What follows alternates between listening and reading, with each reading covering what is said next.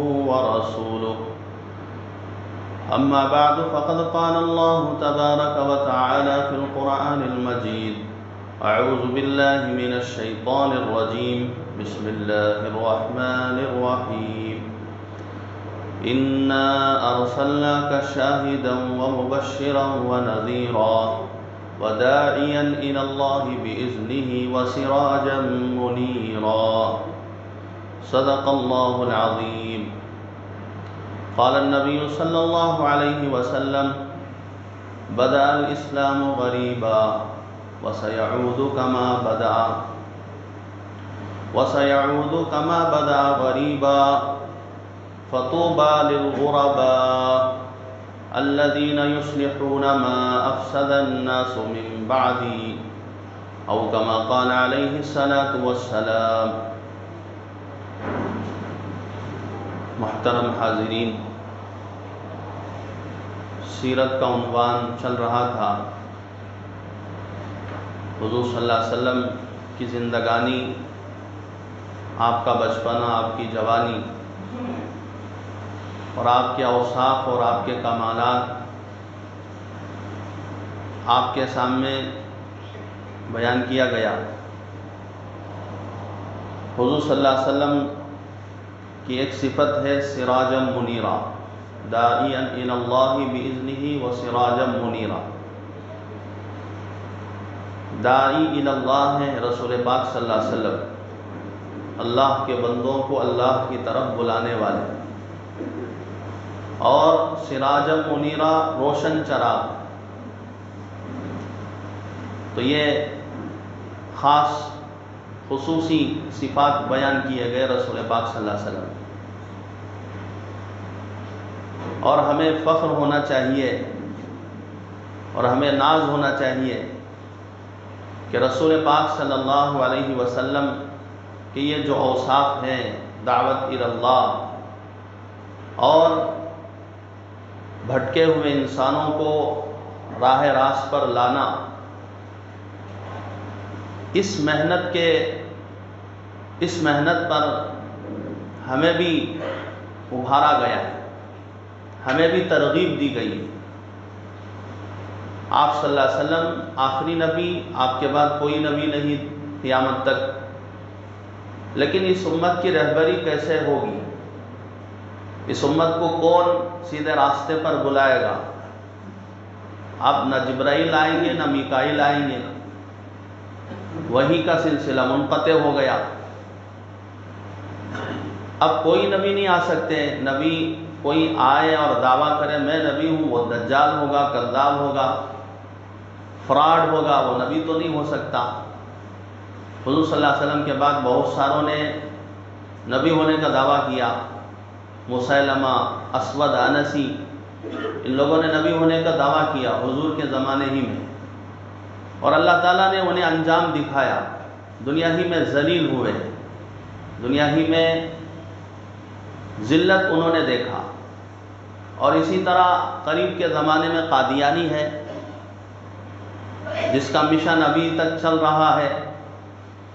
लोग, लोगों को ये कहा जाता है कि कादियानी भी नबी हैं, हुजूर सल्लल्लाहु वसल्लम के बाद। ज़िल्ली नबी, बुरूज़ी नबी।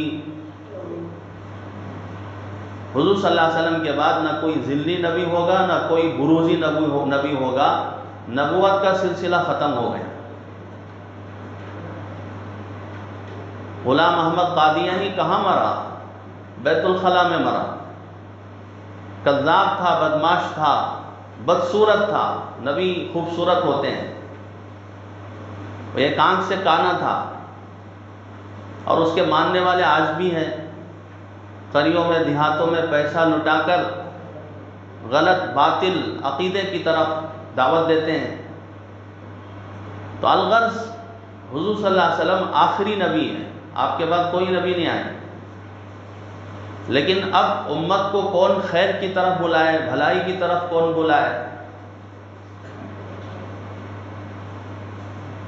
जब कौम इनकार कर देगी कि हमारे पास कोई बुलाने वाला नहीं आया तो ये उम्मत मोहम्मदिया बतौर गवाह के पेश होगी।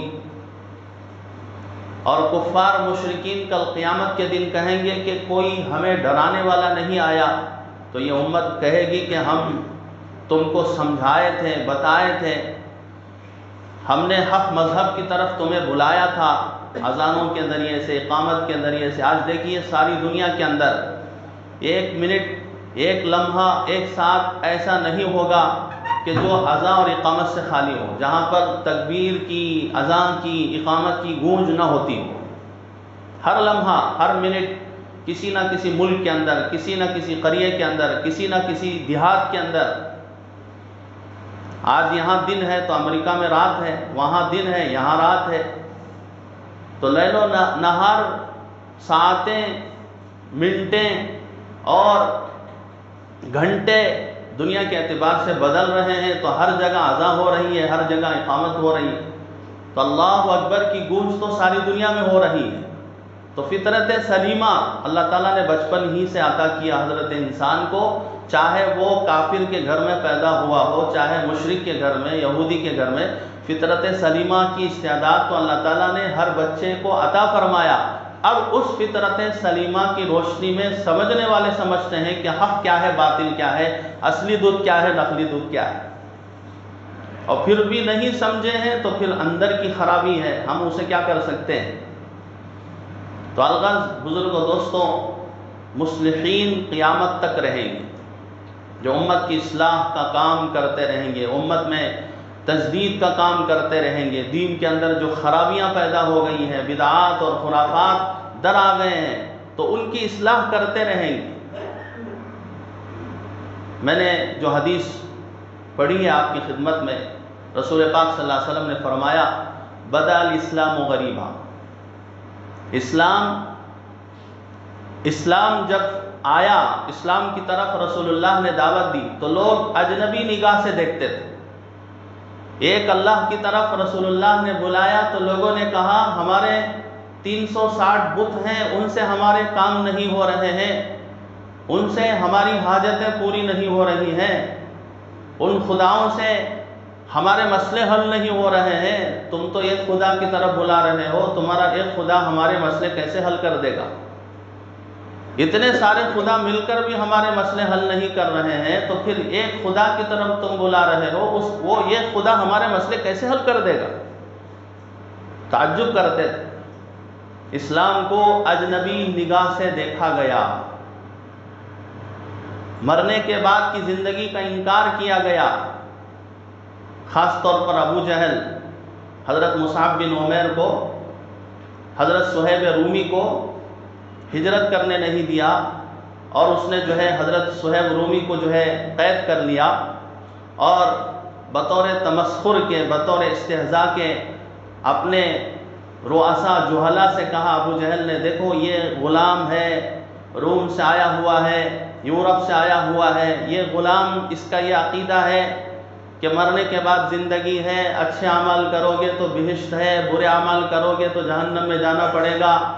इस तरह बोलकर अबू जहल अबू जहल कहते मार रहा था, अबू जहल मुस्कुरा रहा था, हंस रहा था। हज़रत सुहेब रूमी रज़ी अल्लाह तु ने फरमाया कि मेरे आका ने मोहम्मद रसूलुल्लाह ने जो फरमाया है, वो सच है, उस पर हमारा यकीन है।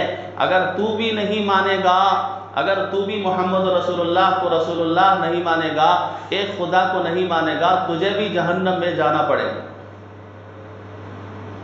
अबू जहल सुनकर गुस्से में भर गया और ये कहा, देखो, ये गुलाम है और ये अपने आप को जो है कह रहा है कि बिहिश में जाऊँगा, जन्नत में जाऊँगा और मैं सरदार हूँ और मैं बड़ा हूँ, रईस हूँ, कौम का चौधरी हूँ और मेरे मुतालिक ये कहता है कि मैं जहन्नम में जाऊँगा। इस तरह बोलकर हज़रत सुहेब को उसने सताया और फिर रुलाया, तंग किया।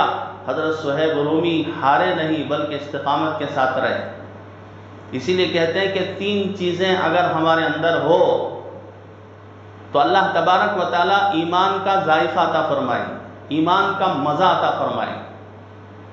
अब किसी चीज़ की लत लग जाती है तो आदमी नहीं छोड़ता। किसी चीज़ का जायका उसे पसंद आ गया तो अब उसे छोड़ता नहीं। किसी को कुछ खाना पसंद है, किसी को फलां होटल में, फलां रेस्टोरेंट में, फलां जगह, जी, बेहतरीन खाना मिलता है, माशाल्लाह, लज्जतदार, मज़ेदार, चलो वहाँ जाएँगे।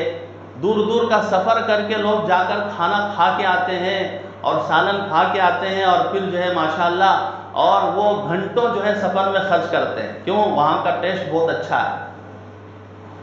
उस खाने का मज़ा अंदर उतर गया।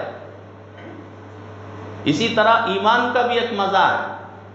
अब जब ईमान का जायका, ईमान की हलावत दिल के अंदर उतर जाए तो सारी दुनिया की ताकतें मिलकर उस ईमान वाले को अपने ईमान से ख़त्म नहीं कर सकती और उसे जो है फेर नहीं सकती और उसके लिए हाइल नहीं बन सकती, वो अपनी जान का नजराना पेश कर देगा, ईमान ईमान नहीं छोड़ेगा।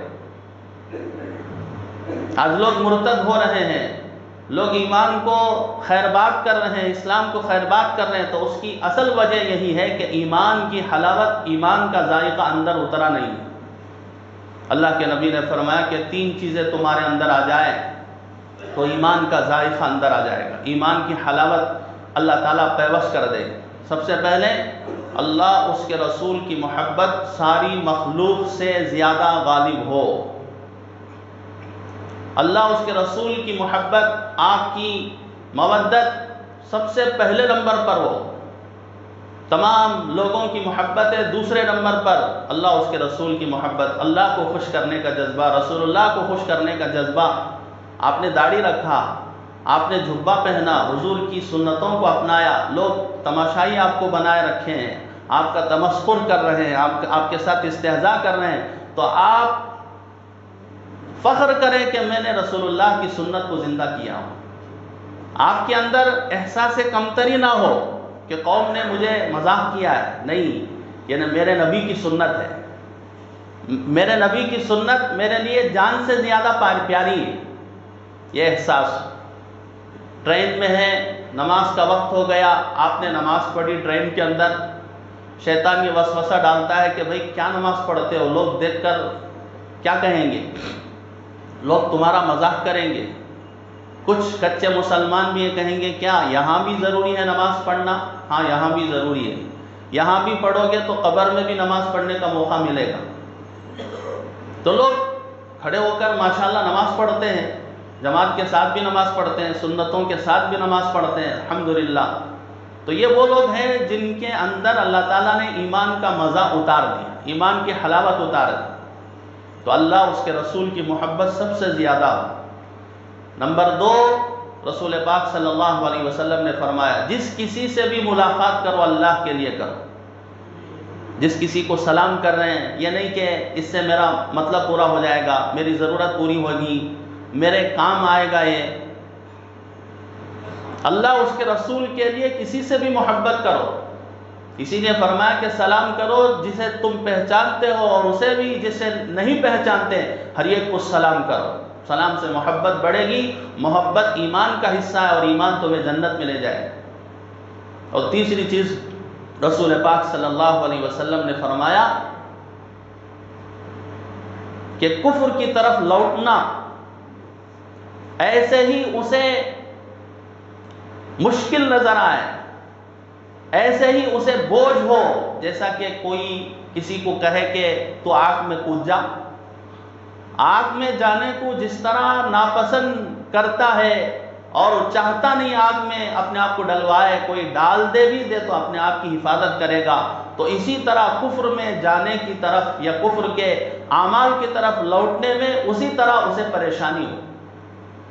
ईमान लाने के बाद फिर कुफ्र की तरफ़ जाने से उसे उतनी ही दिक्कत हो, उतनी ही उसे जो है बोझ हो वो अंदर से जैसे आग में जाने को नहीं चाहता, इसी तरह कुफर की तरफ़ जाने को भी उसकी तबीयत ना चाहे। रसूल पाक सल्लल्लाहु अलैहि वसल्लम ने फरमाया, सलासुन मनकुन नफ़ी ही वजद हलावत ईमान। ये तीन चीज़ें हैं जिसके अंदर आ जाएँ, जिसको अल्लाह ताला ने ये नसीब अता फरमा दे, उसके लिए ईमान की हलावत अता फरमा देंगे, ईमान का जायका अता फरमा देंगे और ईमान की हलावत और ईमान का जायका जिसे मिल जाए तो फिर वो जो है ईमान से फिरेगा नहीं। इस्तकामत के साथ अपने ईमान और आमाल और इस्लाम पर, अपने दीन पर रहेगा और फ़ख्र भी करेगा। तो बुज़ुर्ग, दोस्तों, हुजूर सल्लल्लाहु अलैहि वसल्लम की एक सिफत है दाइन इन अल्लाह अल्लाह की तरफ़ बंदों को बुलाना। हदीस में है, हुजूर सल्लल्लाहु अलैहि वसल्लम आराम फरमा रहे थे, दो फरिश्ते आए। दोनों ने आपस में बात की, एक फरिश्ते ने दूसरे से कहा, ये आराम फरमा रहे हैं। तो दूसरे ने कहा कि, देखो, ये इनकी आँखें सो रही हैं दिल जागा हुआ है। जो कुछ तुम्हें कहना है, कहो, ये सुनेंगे। नबी की आँख सोती है, दिल नहीं सोता। तो उस फरिश्ते ने कहा कि इनकी मिसाल ऐसी है, जैसे किसी ने एक महल तैयार किया। एक आलीशान शानदार, मज़बूत किला तैयार किया, महल तैयार किया। और उस महल के अंदर दस्तरखान बिछाया। और उसमें मुख्तलिफ़ किस्म की अलवान और अकसाम, खाने की चीज़ें, तरह तरह की गज़ाएँ, दस्तरखान सजाने के बाद उस महल को बनाने वाले ने, उस दस्तरखान को बिछाने वाले ने एक शख्स को भेजा, रवाना किया बाहर।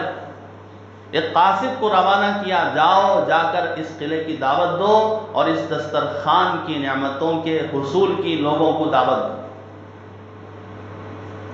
अब ये शख्स जाता है और जाकर लोगों को बुलाता है, भाई, चलो, तुम भूखे हो, तुम प्यासे हो, वहाँ पर तुम्हारी गज़ा है। उस किले के अंदर दस्तरखान सजा हुआ है। उसके अंदर मुख्तलिफ़ किस्म की खाने की चीज़ें हैं।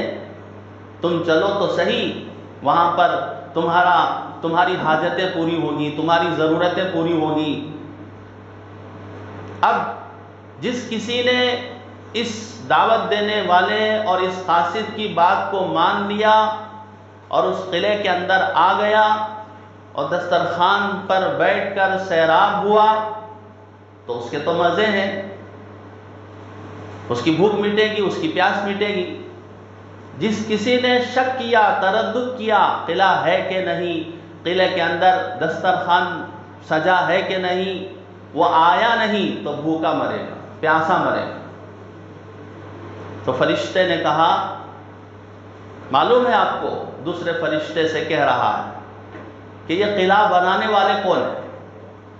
ये बतौर तमसील के समझाया गया, ये मिसाल दी गई ताकि समझें, किला बनाने वाले अल्लाह हैं, उस किले के मालिक अल्लाह है, और वो किला दीन का किला है, इस्लाम का किला है, जिस तरह तूफ़ान नूह में, कश्ती नूह।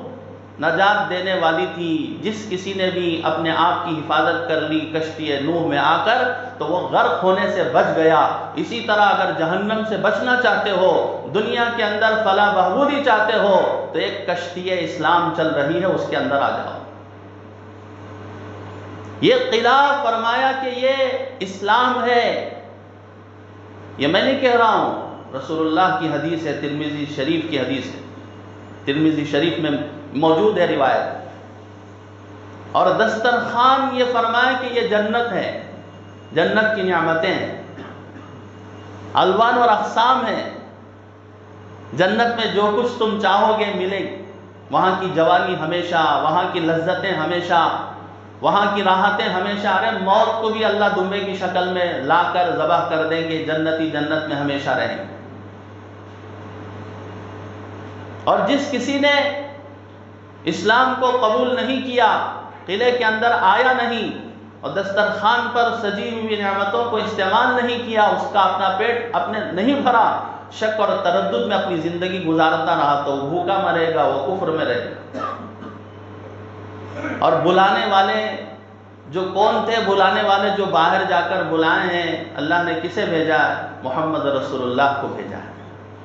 ये बुलाने वाले कौन है? हज़रत मोहम्मद सल्लल्लाहु अलैहि वसल्लम है दाइन अल्लाह की तरफ़ बुलाने वाले। और बुलाना सिर्फ़ महज बुलाना नहीं है, बल्कि शफकत के साथ बुलाना, मेहरबानी के साथ बुलाना, रहम करम के साथ बुलाना कुड़न के साथ बुलाना। जिस तरह माँ अपने बच्चे को बुलाती है, बच्चा गर्द गुबार में, मिट्टी में, बालू में खेल रहा है और सड़क पर वस्ते शहर, वस्ते सड़क पर बैठा हुआ है कहीं कोई टू व्हीलर ना आ जाए, कहीं कहीं कोई गाड़ी ना आ जाए, माँ परेशान रहती है और बुलाती है कि बेटा अंदर आ जा। बारिश का मौसम हो, गर्मी का मौका हो तो माँ बच्चे को अपने अंदर बुलाती है, घर के अंदर बुलाती है, बेटा खेलना मत, बीमार हो जाएगा। इसी तरह अम्बिया सलाम अपनी उम्मत को बुलाते थे, शफकत के साथ बुलाते थे, मेहरबानी के साथ बुलाते थे और अपना तन, मन, धन सब कुछ लगा देते। अरे हज़रत सिद्दीक अकबर रदी अल्लाह तु के मुतालिक लिखा है, इस्लाम लाए तो हज़रत आयशा कहती हैं, मेरे वालिद के पास चालीस हज़ार दिरहम थे और जब इंतकाल हुए हैं तो एक कोड़ी पैसा मेरे वालिद के पास नहीं था। कहाँ गया चालीस हज़ार दिरहम, कहाँ गए इतने सारी रकम, कहाँ चली गई? रसूलुल्लाह पर खर्च कर दिए, दीन इस्लाम के लिए खर्च कर दिए, दीन की तबलीग और इशात के लिए खर्च कर दिया। अल्लाह ने तारीफ़ फरमाई हज़रत सिद्दीक अकबर रदी अल्लाह तु आयतें हैं। अल्लाह ताला एक आयत में फरमाते सारी उम्मत मुस्लिमा के लिए। इल्ला तनसुरूहु फ़क़द नसरहुल्लाह इल्ला तनसुरूहु फ़क़द ए लोगों, सुनो। अगर रसूलुल्लाह की तुमने मदद नहीं की, अल्लाह उनकी मदद किया हुआ है, तुम्हारे मदद की ज़रूरत नहीं है। एक मुहदस कहते हैं कि इस आयत करीमा में अल्लाह ताला ने सबको इताब फरमाया है, सारी उम्मत इस इताब में दाखिल है कि अगर तुमने नबी करीम सल्लल्लाहु अलैहि वसल्लम की मदद नहीं की तो अल्लाह ने मदद की है। सिर्फ़ एक शख्सियत इसमें खारिज हैं, इससे निकले हुए हैं वो हज़रत सिद्दीक़ अकबर की ज़ात है। अल्लाह ताला ने उनकी तारीफ़ आगे फरमाई। कि हज़रत सिद्दीक़ अकबर तो वो है साहिब गार। साहिब गार गार के साथी। हिजरत के मौके पर रसूलुल्लाह ने हज़रत सिद्दीक़ अकबर का इंतखब किया। ये अपनी तरफ़ से नहीं, बल्कि अल्लाह तबारक व ताली के हुक्म की तरफ़ से। हिजरत का मौका मिल गया जब कुफ़ार और मुशरकिन सताने लगे, आपको परेशान करने लगे। तो हज़रत जब्राईल सलाम तशरीफ़ लाए और आकर जो मुशरकिन का मकर था, उनका फरेब था, उनकी जो तदबीरें थी दारुलनदवा में सब जमा थे। और आपस में मीटिंग कर रहे हैं कि रसूलुल्लाह का अम्र, उनका दीन और उनके मानने वाले मुतबईन बढ़ रहे हैं। क्या किया जाए? आज भी वो मीटिंगें चल रही हैं और क़ियामत तक होता रहेगा। दिन रात क़ियामत तक है। हक और बातिल का मारका क़ियामत तक रहेगा। हमें परेशान होने की ज़रूरत नहीं है।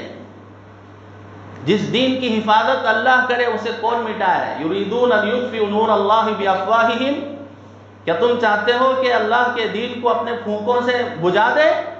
ये कोई जरा चराग नहीं है कि आप अपने फूंक से बुझा दें। ये अल्लाह का दीन है जिसकी हिफाजत अल्लाह करेंगे। अल्लाह के नबी अल्लाह के नबी ने हदीस कुदसी में फरमाया, ला यबका बैत वबरिन वला मदरिन इल्ला अदखलहुल्लाहुल इस्लाम बिइज्ज अजीजिन औ बिजिल्ल जलीलिन। एक घर भी ऐसा बाकी नहीं रहेगा। क़यामत तक एक घर भी ऐसा बाकी नहीं रहेगा। चाहे शहर के घर हो पक्के, चाहे करिए के घर हो कच्चे, हर कच्चे पक्के घर के अंदर रसूलुल्लाह का लाया हुआ दीन दाखिल होकर रहेगा, इज़्ज़त से दाखिल होकर रहेगा, या जिल्लत के साथ ना चाहते हुए भी दीन इस्लाम दाखिल होकर रहेगा। ये तो रसूल पाक सल्लल्लाहु अलैहि वसल्लम ने सुनाया है। अल्लाह का हुक्म दारुल में मीटिंग चल रही। और शैतान भी शेख नजदी के एक बूढ़े की शक्ल में उस मीटिंग में आ गया। दरवाजे पर खड़ा है। और अंदर बड़े बड़े सरगना, अबू जहल, अबू अबू लहब शैबा, अबू सुफियान, अभी जो ईमान नहीं लाए थे, ये सब मौजूद है। तो अपने आप को बूढ़े की शक्ल में लाया, शैतान और दरवाजे पर खड़े होकर कह रहा है कि अंदर आ जाऊँ। अगर मैं अंदर आ जाऊँ तो मैं तुम्हें राय दे सकता हूँ। रसूलुल्लाह के मुतालिक, मोहम्मद मोहम्मद के मुतालिक, सल्लल्लाहु अलैहि वसल्लम।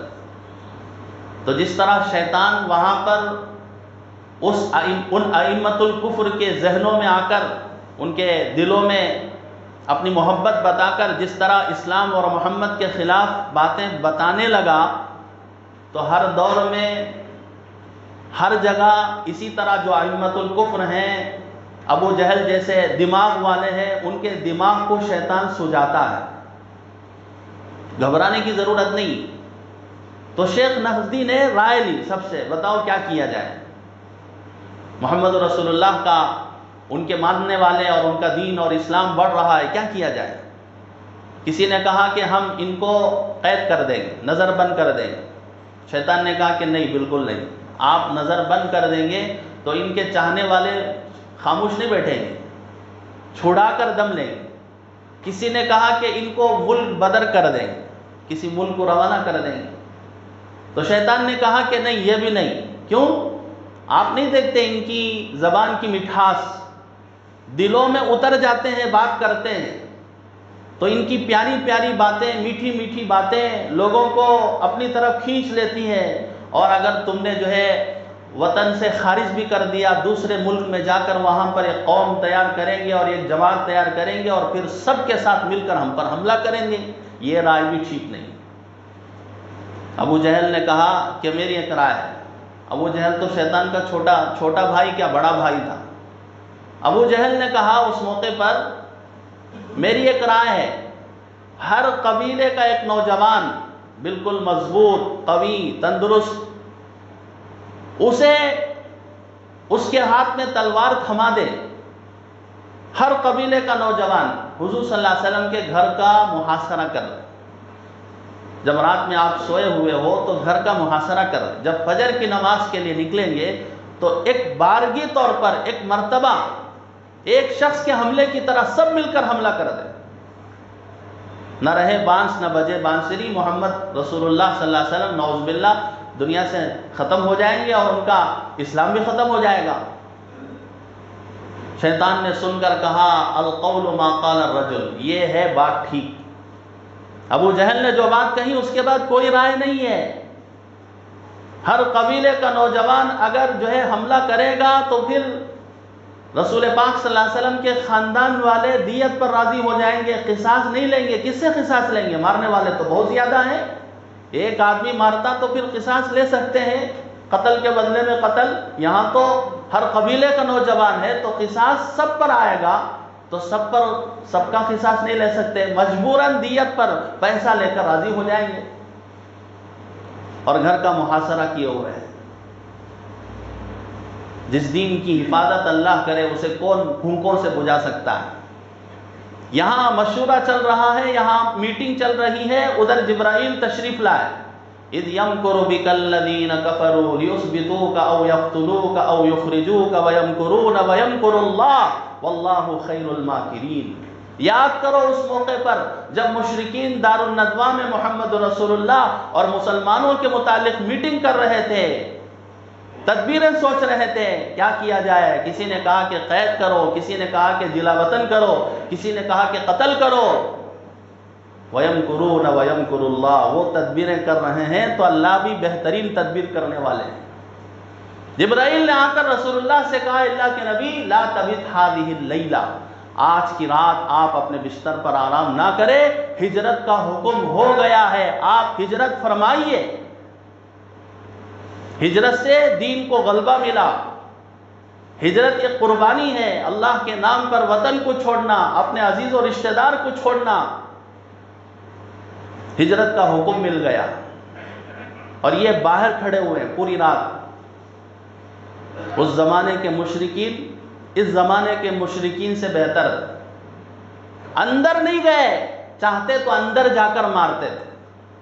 लेकिन वो समझते थे कि औरतें रहती हैं घर के अंदर। घर के अंदर हम नहीं जा सकते, बाहर ही उन्होंने इंतज़ार किया पूरी रात। अब आएँगे अब आएँगे अब आएँगे। आप सल्लल्लाहु अलैहि वसल्लम निकले फजर की नमाज़, हिजरत के लिए निकले। अपने मुट्ठी के अंदर मिट्टी ले लिया।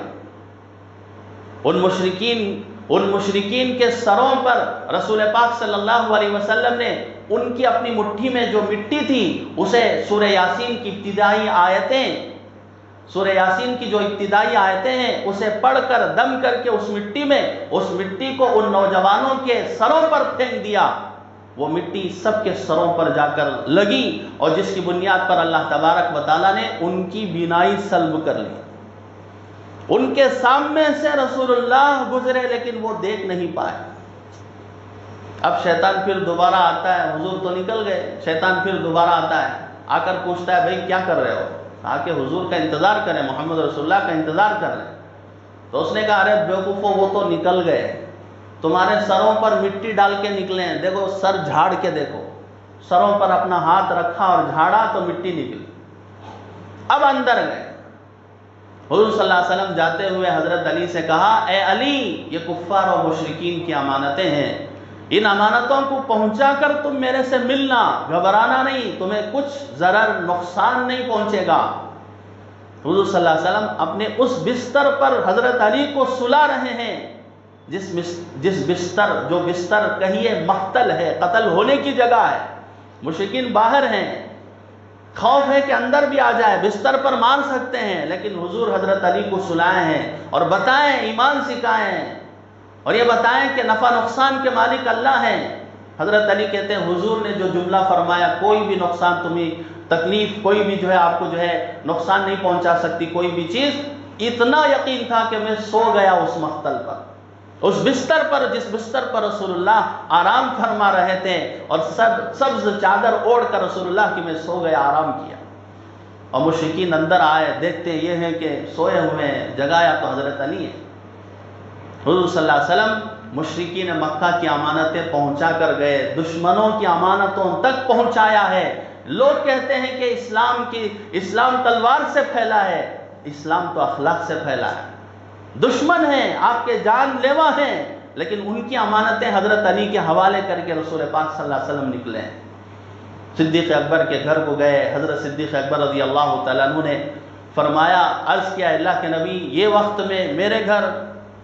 हज़रत सिद्दीक़ अकबर से हजू वसल्लम ने फरमाया कि हिजरत का हुक्म हो गया है। हज़रत सिद्दीक़ अकबर दो ऊँटनी पाल के रखा था और उसे बबूल के पत्ते खिलाते थे।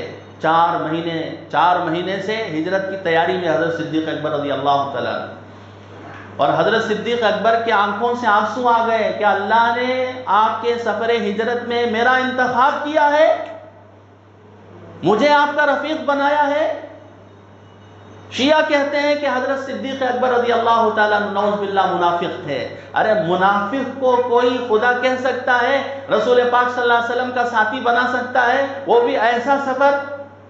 ऐसे मुश्किल वक्त में किसी मुनाफिक को अल्लाह तबारक वाली साथ लेने का हुक्म देंगे। ये मुनाफिक नहीं थे, तुम हो मुनाफिक। शिया, तुम हो मुनाफिक। ये कौन है? ये यार गार हैं। ये साहिब रसूलुल्लाह हैं। इनकी सहाबियत पर अल्लाह ने फरमाया है साहिबस नहीं नी साहिबस नहीं साहिब ही फरमाया साहिब ही। साहिब के माने साथी के आते हैं? सहाबी के माने भी साथी के हैं। सहाबी के माने साथी के हैं। सहाबी साहिब, दोनों में कोई फ़र्क नहीं है। उनकी सहाबियत पर अल्लाह ने मोहर लगाया है। और तुम कहते हो, सिद्दीक अकबर नौजबिल्ला मुनाफिक हैं? हज़रत सिद्दीक अकबर दो उठनी पाला था। और सफ़र के मौके पर, हिजरत के सफ़र के मौके पर हज़रत सिद्दीक अकबर ने कहा कि अल्लाह के नबी, ये दो ऊँटनियाँ हैं। एक मैंने आपके लिए ख़रीद रखा है। ये मेरी तरफ़ से हदिया है, तोहफ़ा है। हुजूर ने फरमाया कि हदिया नहीं लूँगा मैं। ये मुबारक सफ़र है, ये अजमत वाला सफ़र है, ये अल्लाह के रास्ते का सफ़र है, इसमें मेरा माल लगेगा, आप मुझे बतौर कीमत दो, बतौर हदिया के नहीं। हज़रत सिद्दीक़ अकबर का, हज़रत सिद्दीक़ अकबर ने अपना माल इतना लगाया रसूल पाक सल्लल्लाहु अलैहि वसल्लम पर, ख़ुद हुजूर ने फरमाया, सारे जितने भी मेरी मदद किए हैं उनका बदला अल्लाह ने दे दिया मेरी जानब से। लेकिन सिद्दीक़ अकबर ने जो मुझ पर लगाया है, खर्च किया है, उसका बदला तो अल्लाह ही दे। इतना सब कुछ लगाया और इतने बहुत सारे वाक़ात में हुजूर ने हज़रत सिद्दीक़ अकबर का माल खर्च किया तो फिर यहाँ पर ऊँटनी क्यों नहीं ले रहे हैं हुजूर सल्लल्लाहु अलैहि वसल्लम? सवारी हज़रत सिद्दीक अकबर से बतौर हदिया तोहफा क्यों नहीं ले रहे हैं? ने लिखा है कि यह हिजरत का सफ़र था। हिजरत के सफ़र में बंदा अपना माल खुश खुद लगाए। हज़रत सिद्दीक अकबर ने हज़रत रसूल पाक सल्लल्लाहु अलैहि वसल्लम ने अपना माल खुद लगाया। और इधर निकल गए हज़रत सिद्दीक अकबर रसूल पाक सल्लल्लाहु अलैहि वसल्लम। और उधर अबू जहल अपनी एक जमात के साथ हज़रत सिद्दीक अकबर के घर को आया। हज़रत असमा कहती हैं आकर पूछने लगा माँ मा, आई ना अबू का असमा तुम्हारे बाप कहाँ हैं सिद्दीक अकबर? असमा कहती हैं कि मैंने लाइमी का इजहार किया, मुझे मालूम नहीं। अबू जहल ने एक तमाचा ऐसा जोरदार लगाया मुझ पर, मेरी कान की बाली भी झड़ गई। कान की बाली झड़ना है तो कितना जोरदार तमाचा मारा होगा। उस औरत ने, उस बंदी ने, खुदा की उस बंदी ने बर्दाश्त किया। जुल्निताकैन जिनको कहा जाता है हज़रत असमा तोशा तैयार किया हज़रत असमा हज़रत के सफ़र में रसूल पाक सल्लल्लाहु अलैहि वसल्लम के लिए या अपने वालिद के लिए। और जब तोशा बांधने के लिए पानी का जो मशकीज़ा था, उसका सिरा बांधने के लिए और खाने का तोशा बांधने के लिए कुछ रस्सी नहीं थी तो अपना ही जो है इजार बंद निकाल कर उसके दो टुकड़े करके, एक टुकड़े से खाने का तोशा बांधा, दूसरे टुकड़े से जो है पानी का तोशा बांधा और उसकी वजह से जुल्नताक़न हज़रत असमा रदी अल्लाह तह का लकब हो गया। उस नेक अल्लाह की बंदी ने हिजरत में रसोल्ला का साथ दिया और तोशा बनाकर जो है भेजा। और उधर हज़रत सिद्दीक अकबर रदी अल्लाह तु कभी दाएँ, कभी बाएँ, कभी आगे, कभी पीछे, हजूर सल्लल्लाहु अलैहि वसल्लम ने फरमाया ए सिद्दीक अकबर आपको इतनी घबराहट क्यों हो रही है? कभी देखता हूँ कि पीछे कभी दाएँ होते हैं मेरे, कभी बाएँ होते हैं, कभी आगे होते हैं। हज़रत सिद्दीक अकबर रज़ी अल्लाह ने फरमाया, अर्ज़ किया अल्लाह के नबी, मुझे अपनी जान का कोई ख़तरा नहीं है। मैं मरूं तो मैं मरूं, लेकिन आप इंतकाल हो जाए। आप, अगर आपको जख्म आ गया तो सारी उम्मत मजरू हो जाए इसलिए कभी दुश्मन का खौफ दाएँ तरफ़ से होता है तो मैं दाएँ तरफ़ चला जाता हूँ। बाएँ तरफ़ से खौफ होता है तो बाएँ तरफ़ चला जाता हूँ। पीछे से दुश्मन के खौफ का मुझे खतरा लगता है तो मैं पीछे मुड़ जाता हूँ। आगे दुश्मन का खौफ होता है तो मैं आगे चला जाता हूँ। हज़रत सिद्दीक अकबर को अपनी जान का कोई खतरा नहीं था। रसूल पाक सल्लल्लाहु अलैहि वसल्लम की हिफाजत यूँ की है हज़रत सिद्दीक अकबर रज़ी अल्लाह हज़रत उमर कहते हैं, हज़रत उमर के मुतालिक हुजूर ने फरमाया, बताओ, आसमान में जितने सितारे हैं, उतने बकदर किसी की नेकियाँ हो सकती हैं। साहबा ने कहा, अल्लाह के नबी, अल्लाह उसके रसूल ही को मालूम है। कौन ऐसा खुश नसीब इंसान है जिसकी नेकियाँ आसमान के सितारों से भी ज़्यादा हो? आसमान के सितारे अनगिनत हैं, गिन नहीं सकते। हुजूर ने फरमाया कि वो उमर की शख्सियत वो उमर उसकी शख्सियत है जिनकी जिनकी नेकियाँ आसमान के सितारों से भी ज़्यादा है। ये उमर कहते हैं, सिद्दीक अकबर उमर की सारी ज़िंदगी की नेकियाँ ले ले। वो एक दिन की नेकी और वो एक रात की नेकी अबू बकर उमर को दे दे तो इस पर मैं राज़ी हूँ। उमर की पूरी ज़िंदगी की नेकियाँ अबू बकर ले ले। और अबू बकर रज़ी अल्लाह तु उस रात की नेकी, हिजरत की रात की नेकी, जिसमें रसूलुल्लाह की, हज़रत सिद्दीक अकबर ने हिफाजत की, दुश्मनों से बचाया वो रात की नेकी और वो दिन की नेकी, जिस वक्त रसूलुल्लाह की वफात हो गई, उस वक्त उम्मत का शिराजा बिखर गया। कुछ लोग नबूत का दावा किए, कुछ लोग इस्लाम छोड़कर मुर्तद हो गए। अब नबी ना रहे, वफात पा गए तो इस्लाम भी ख़त्म हो जाएगा इस डर से। कुछ लोग जक़ात का इनकार करने लगे। और कुछ लोग मदीने पर हमला करने के लिए पूरी तैयारी कर लिए थे। चारों तरफ़ से यलगार चारों तरफ़ से हमले का खतरा, उस मौके पर उम्मत को संभालने वाली कोई शख्सियत है तो वो सिद्दीक अकबर की शख्सियत। वो दिन की नेकी, वो रात की नेकी, सिद्दीक अकबर उमर को दे दे और उमर अपनी पूरी ज़िंदगी की नेकियाँ देने के लिए तैयार है। हज़रत सिद्दीक अकबर एक गार को देखा जिसको गार सौर कहते हैं। और सबसे पहले खुद जाकर गार के अंदर जो सफ़ाई थी, उस सफ़ाई का काम अंजाम दिया। जितने भी सुराख थे, तमाम सुराखों को बंद किया। कपड़े के ज़रिए से या चमड़े के ज़रिए से एक सुराख बाकी था, जिस पर अपना अंगूठा लगा दिया। सफ़ाई हो गई तो हज़रत सिद्दीक अकबर रज़ी अल्लाह ने सल्लल्लाहु वसल्लम को अपने कंधे पर उठाकर पहाड़ पर चढ़े। गार सौर आपने देखा होगा खुद को जाना कितना मुश्किल है और दूसरे को ले जाना अपने कंधे पर उठाकर ले गए। और गार में रसूल पाक सल्लल्लाहु अलैहि वसल्लम को आराम करने के लिए तकिया नहीं था। सिद्दीक अकबर ने अपने राम को पेश किया, अल्लाह के नबी, आप अपना सर यहाँ रखिए। और एक सांप इधर उधर हुजूर की जियारत के लिए कई सालों से तड़प रहा था। उसे अंदर आने के लिए कोई सुराख नहीं मिल रहा था। वो जो सुराख था, जिस पर कोई चमड़ा नहीं था, हज़रत सिद्दीक अकबर का अंगूठा था, वहाँ पर, वहाँ से आने के लिए बार बार डस रहा है। हज़रत सिद्दीक अकबर रदी अल्लाह के, का रंग बदल गया। शाम का जहर अंदर चढ़ रहा है। रंग बदल गया और बेअदबी होगी, गुस्ताखी होगी अगर हुजूर को मैं जगाऊं। हुजूर के आराम में कोई खलन ना हो।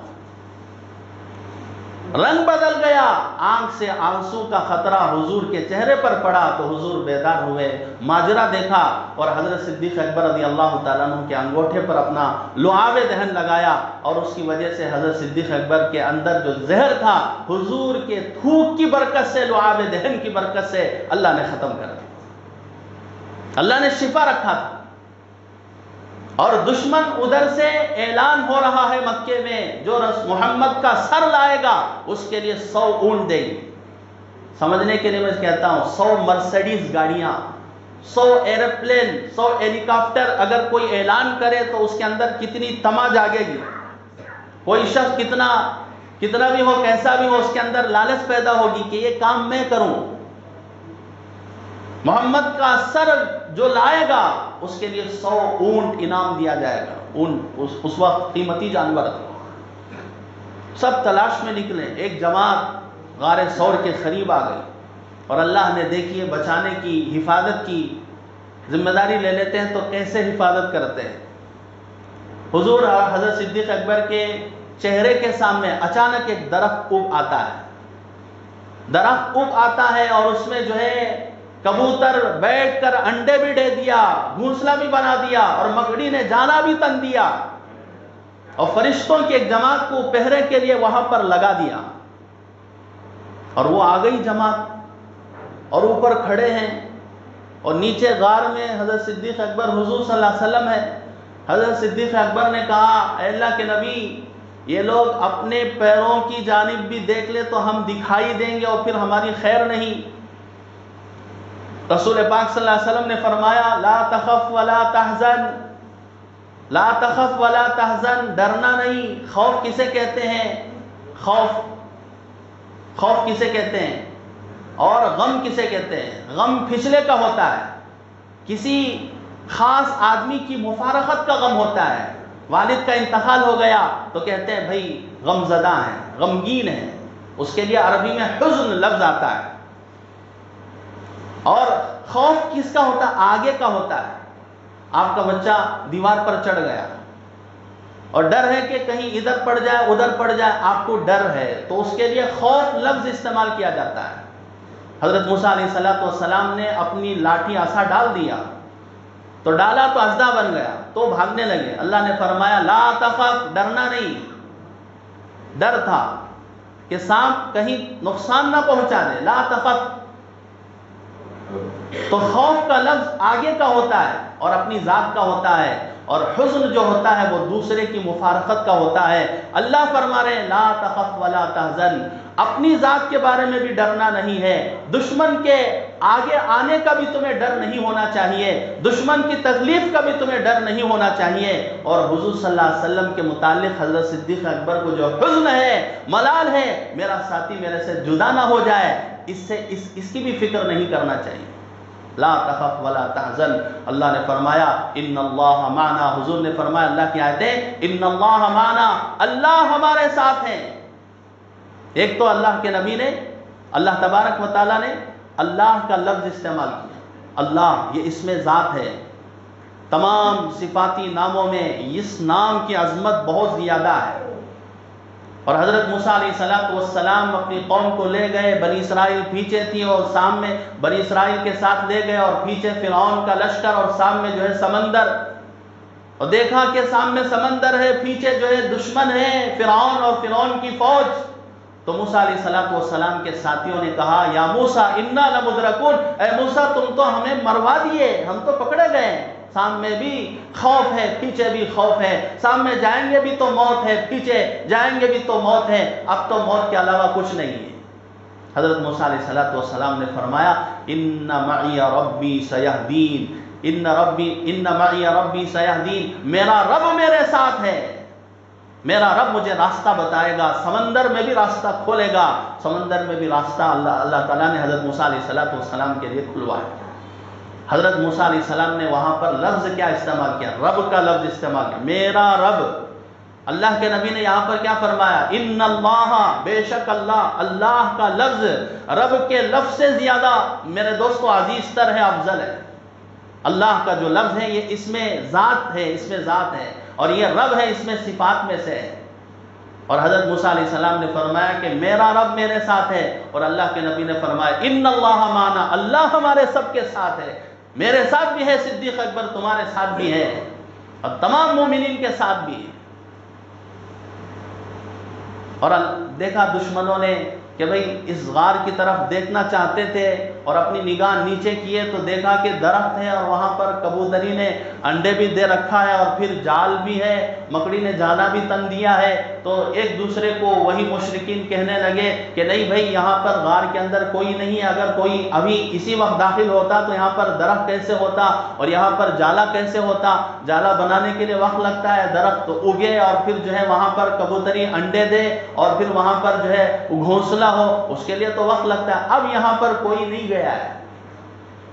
इन्ना अवहनल बुयूत सबसे कमज़ोर घर, वो मकड़ी का जाला है।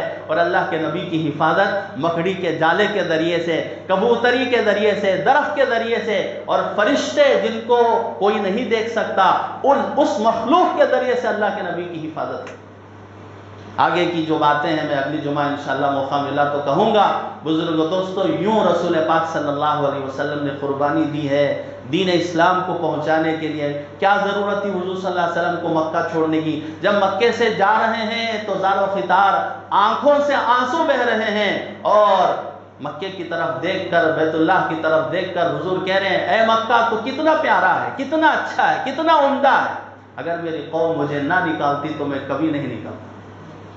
इतना प्यारा वतन इतना प्यारा अज़ीज़ तर वतन अलैहि वसल्लम ने दीन इस्लाम की तबलीग के लिए कुर्बान किया और मदीना रवाना और एक एक वक्त आएगा कि इस शान के साथ चौदह सौ सहाबा, दस हज़ार सहाबा के साथ अलैहि वसल्लम मक्का आएँगे, फातिहाना तौर पर आएँगे। और यहाँ पर रात में निकल रहे हैं। तन्हा सिर्फ़ एक साथी हैं। और किस हाल में अलैहि वसल्लम निकले, कुर्बानी हुई, मुजाहदा हुआ तो अल्लाह तबारक व ताली की मदद आई नुसरत आई कि एक वक्त आया कि फ़तेह मक्का के मौके मौके पर कितने लोग आए थे? दस हज़ार का मजमा आया। तो मैं वो आगे की बातें इंशाल्लाह कहूँगा। अल्लाह से दुआ फरमाए, अल्लाह तबारक व ताली हमें भी दीन की तबलीग के लिए जद्दोजहद करने और क़ुरबानी देने की अल्लाह तबारक वाली हमें तोफ़ी ख़ता फ़रमाए वाखिर उदावाना अलहमदिल्ला रबालमी